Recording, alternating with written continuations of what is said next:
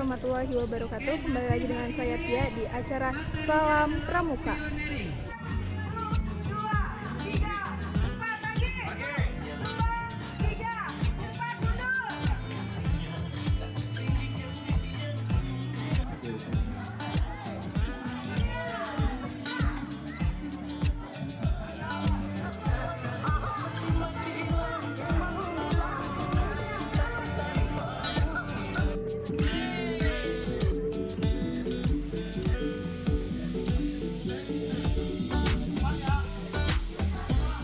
Assalamualaikum warahmatullahi wabarakatuh Salam Pramuka pada hari Minggu tanggal 10 Maret tahun 2024 Indomaret Fresh Villa Bogor Indah 3 mengundang kuartir cabang gerakan Pramuka Kota Bogor untuk berpartisipasi mengikuti kegiatan Jalan Sehat. Sekian liputan hari ini. Wassalamualaikum warahmatullahi wabarakatuh dan salam Pramuka.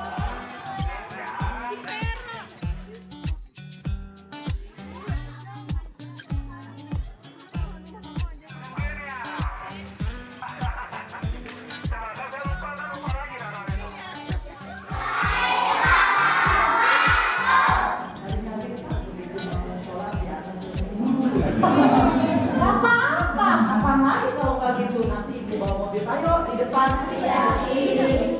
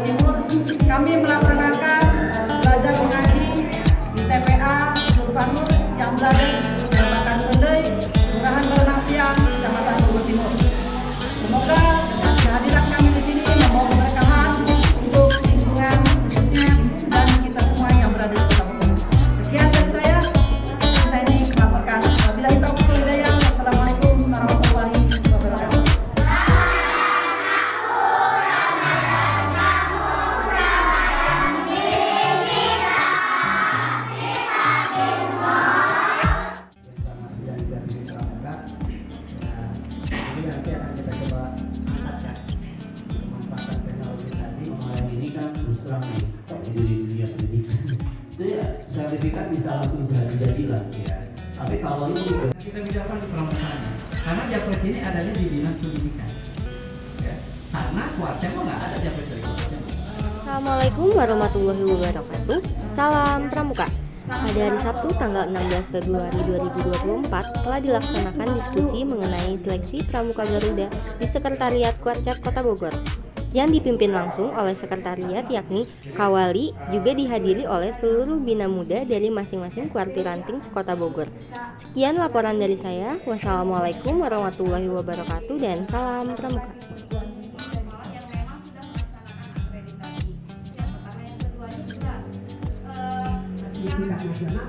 tidak mungkin juga kita harus mengacu ke situ semua harus ada juga pengelakon kita kantor juga, makanya kita harus menyelamatkan juga. Makanya saya tadi seleksi itu betul bantu diutamakan kan.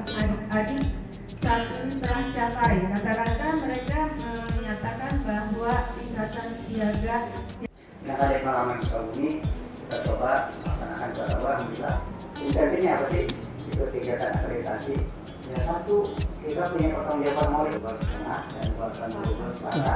Assalamualaikum warahmatullahi wabarakatuh. Salam Pramuka. Salam. Kami dari Komisi Orga Umum telah melaksanakan sosialisasi akreditasi Gugus Depan tahun 2024 di mana di tahun ini kami mengundang peserta yang akan mengikuti akreditasi di tahun ini dari beberapa sekolah. Yang pertama, sekolah-sekolah yang memang sudah terakreditasi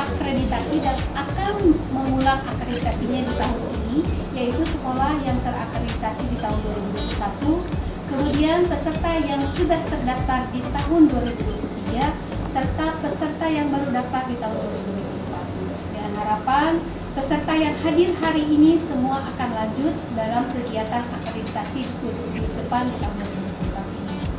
Kemudian harapan kami juga ke depannya, insya Allah di bulan Agustus nanti kami sekalian akan menyerahkan eh, piagam sebagai tanda keikutsertaan akreditasi di 2024 ini di puncak acara rangkaian Hari Pramuka tahun 2024.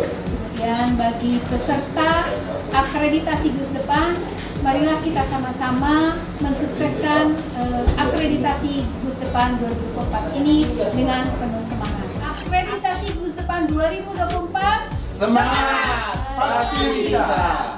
Yeay.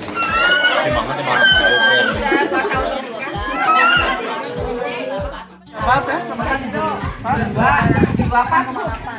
Kenzo. Ya udah tujuh delapan. Oh, berarti salah. tangan kanan ayo tangan kanan gulung tangan kiri sela-sela jarinya Saya Ninitra Rahmani Asradiningrat, biasa dipanggil Nini dari Kementerian Kesehatan, tepatnya di Direktorat Promosi Kesehatan dan Pemberdayaan Masyarakat. Kegiatan ini merupakan uji coba dari peran SPH dalam mendukung pelaksanaan posyandu. Jadi Kemenkes itu pengen apa namanya melihat nih kan melihat potensi SPH yang sangat eh, potensial sekali menurut Kemenkes bahwa SPH tersebar di seluruh Indonesia ada. Kemudian ada juga yang posyandu yang perlu didukung oleh eh, masyarakat. Nah salah satunya sebagai eh, SPH ini maksudnya. Jadi kita mau lihat gimana sih ini teman-teman dari SPH ini adik-adik SPH ini bisa mendukung pelaksanaan posyandu di Indonesia ini.